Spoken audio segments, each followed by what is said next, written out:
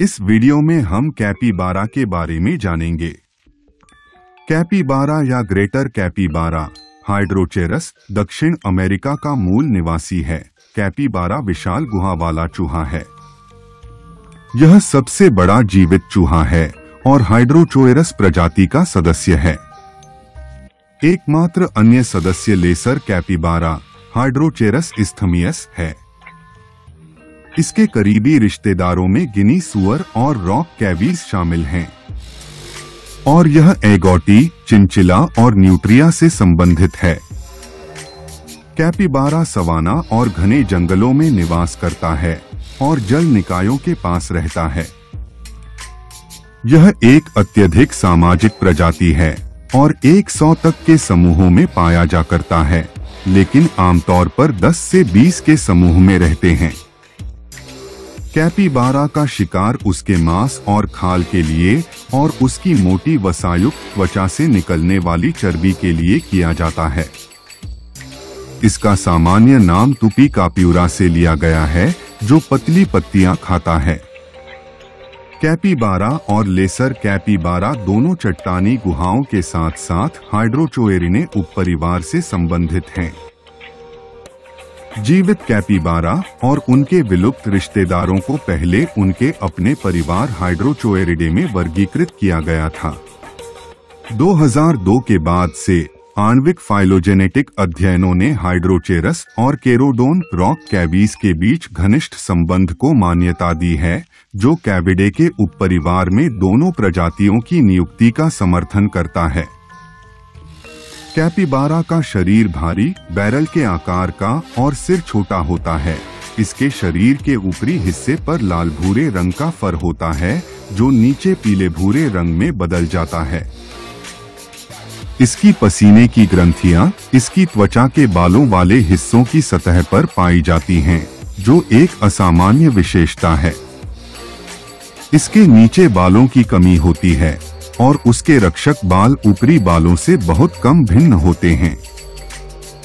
वयस्क कैपीबारा लंबाई में 106 से 134 सेंटीमीटर और 3.48 से 4.40 फीट तक बढ़ते हैं।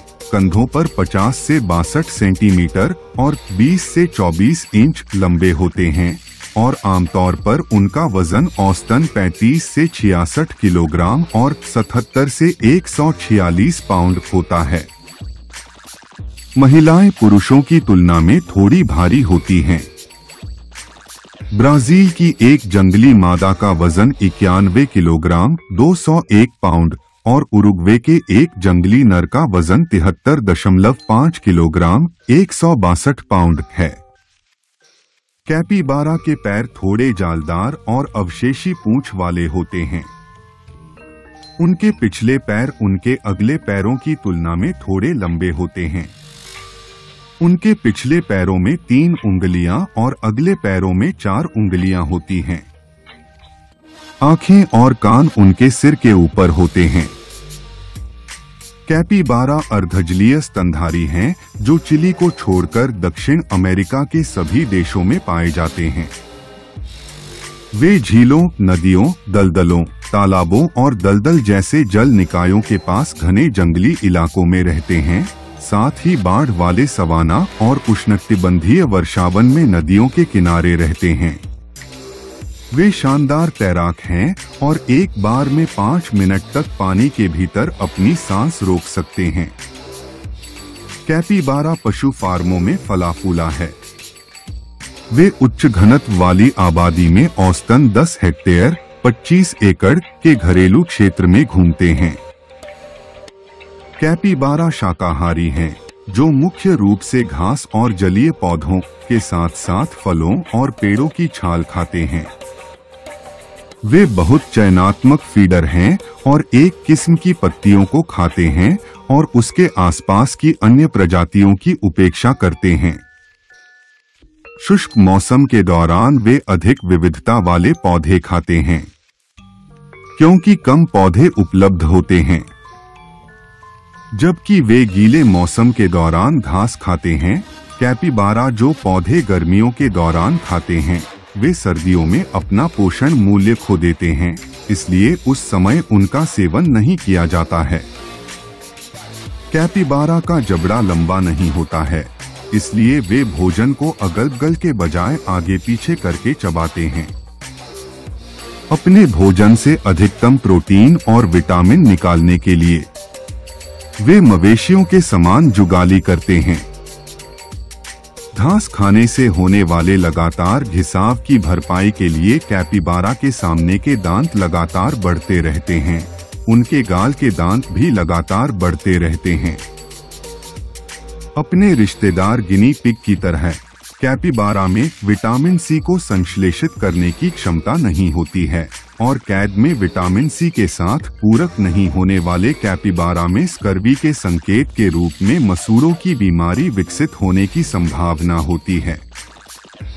उनका जीवन काल आठ से दस साल का हो सकता है।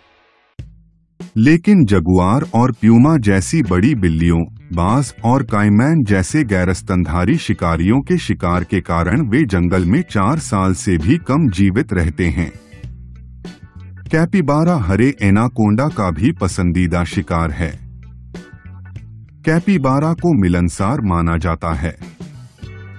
हालाँकि वे कभी कभी अकेले रहते हैं, वे आमतौर पर लगभग 10 से 20 के समूह में पाए जाते हैं। जिनमें दो से चार वयस्क नर चार से सात वयस्क मादाएँ और शेष बच्चे होते हैं। शुष्क मौसम के दौरान कैपिबारा समूहों में 50 या 100 के समूह में हो सकते हैं। जब धमकी दी जाती है या जब मादाएँ बच्चों को चरा रही होती हैं, तो वे कुत्ते की तरह भौंक सकते हैं। कैपीबारस में दो प्रकार की गंध ग्रंथियाँ होती हैं। एक मोरिलो जो थूथन पर स्थित होती है और गुदा ग्रंथियाँ। दोनों लिंगों में ये ग्रंथियाँ होती हैं, लेकिन पुरुषों में मोरिलो बहुत बड़े होते हैं और वे अपनी गुदा ग्रंथियों का अधिक बार उपयोग करते हैं। पुरुषों की गुदा ग्रंथियाँ भी अलग किए जा सकने वाले बालों से पंक्तिबद्ध होती हैं।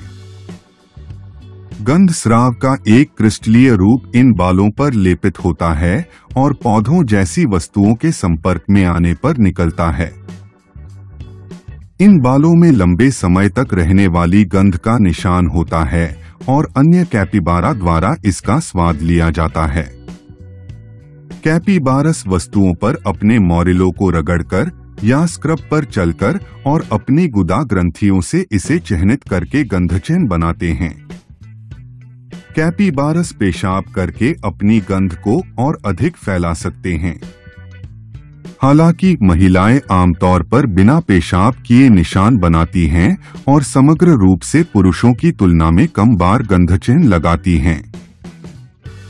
मादाएँ अक्सर गीले मौसम के दौरान मद में होती हैं। वस्तुओं के अलावा नर मादाओं को भी सूंघते हैं। कैपीबारा का गर्भाधान 130 से 150 दिनों का होता है और औसतन एक बार में चार से आठ बच्चे पैदा होते हैं। जन्म भूमि पर होता है और मादा नवजात शिशु को जन्म देने के कुछ ही घंटों के भीतर समूह में फिर से शामिल हो जाती है कैपीबारा जो गतिशील होते ही समूह में शामिल हो जाते हैं। एक सप्ताह के भीतर बच्चे घास खा सकते हैं। लेकिन समूह में किसी भी मादा से दूध पीना जारी रख सकते हैं, जब तक कि लगभग 16 सप्ताह तक दूध नहीं छूट जाता। युवा मुख्य समूह के भीतर एक समूह बनाते हैं। वेनेजुएला में अप्रैल और मई के बीच और ब्राज़ील के माटो ग्रोसो में अक्टूबर और नवंबर के बीच प्रजन चरम पर होता है। कैपीबारा ज़मीन और पानी में काफ़ी फुर्तीले होते हैं। वे उत्कृष्ट तैराक हैं और पाँच मिनट तक पूरी तरह से पानी में डूबे रह सकते हैं। इनमें एक ऐसी क्षमता होती है जिसका उपयोग वे शिकारियों से बचने के लिए करते हैं। कैपीबारा केवल अपनी नाक बाहर रखकर पानी में सो सकते हैं। जैसे जैसे दिन के दौरान तापमान बढ़ता है, वे पानी में लौटने लगते हैं और फिर दोपहर और शाम के समय चरने लगते हैं। वे कीचड़ में लौटते हुए भी समय बिताते हैं। वे आधी रात के आसपास आराम करते हैं और फिर सुबह होने से पहले चरना जारी रखते हैं। कैपीबारा को संकटग्रस्त प्रजाति नहीं माना जाता है उनकी आबादी पूरे दक्षिण अमेरिकी क्षेत्र में स्थिर है। हालाँकि कुछ क्षेत्रों में शिकार के कारण उनकी संख्या कम हो गई है।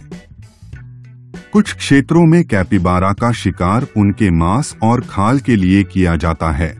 कैपीबारा ने दक्षिण अमेरिका में शहरीकरण को अच्छी तरह से अपना लिया है। वे चिड़ियाघरों और पार्कों में कई क्षेत्रों में पाए जा सकते हैं। और कैद में 12 साल तक जीवित रह सकते हैं, जो उनके जंगली जीवन काल से दोगुना से भी अधिक है। कैपिबारा की खेती दक्षिण अमेरिका में मांस और खाल के लिए की जाती है। कुछ क्षेत्रों में मांस को खाने के लिए अनुपयुक्त माना जाता है, जबकि अन्य क्षेत्रों में इसे प्रोटीन का एक महत्वपूर्ण स्रोत माना जाता है। हमारी वीडियो पसंद आई हो तो लाइक करें, शेयर करें। और हमारे चैनल को सब्सक्राइब करना ना भूले। वीडियो देखने के लिए धन्यवाद।